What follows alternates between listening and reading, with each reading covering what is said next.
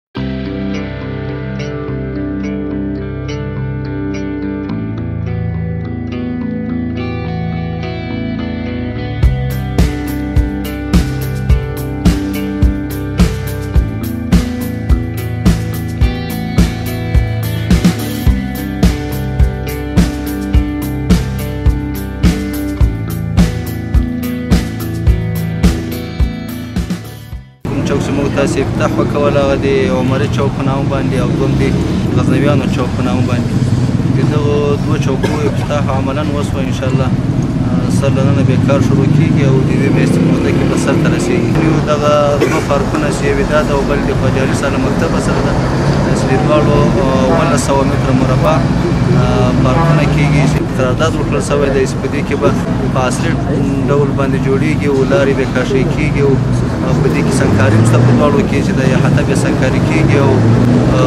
د کومې لارې چې په مابین د چوکې دی نقشه برابر باندې هغه کاشي کیږي او پنجره هم تیر تاویږي د اوبو سیستم هم ورته جوړیږي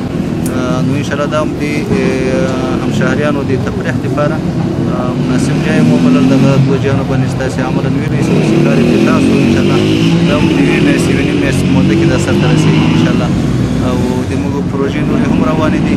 دغه شپږ سره پروژې چې مخکې درې شروع شوې وي او دوه دا پارک لري دوه چوکونه دوه د کانکریټي پل ولا او یو مخکې پارک و د خواجه علي صاحب پارک نه هم باندې دغه درې پروژې شپږ پروژې ټوټل کېږي دا ټول د ښاروالي له بودجې چې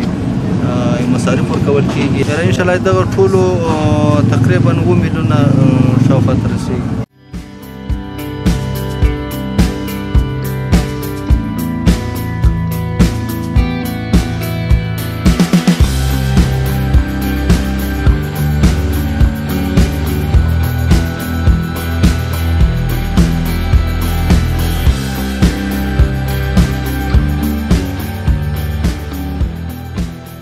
خو یو دا ګټه ده چې ښار به مو ښایسته شي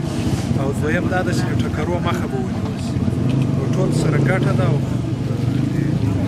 ښکلا لپاره ډېر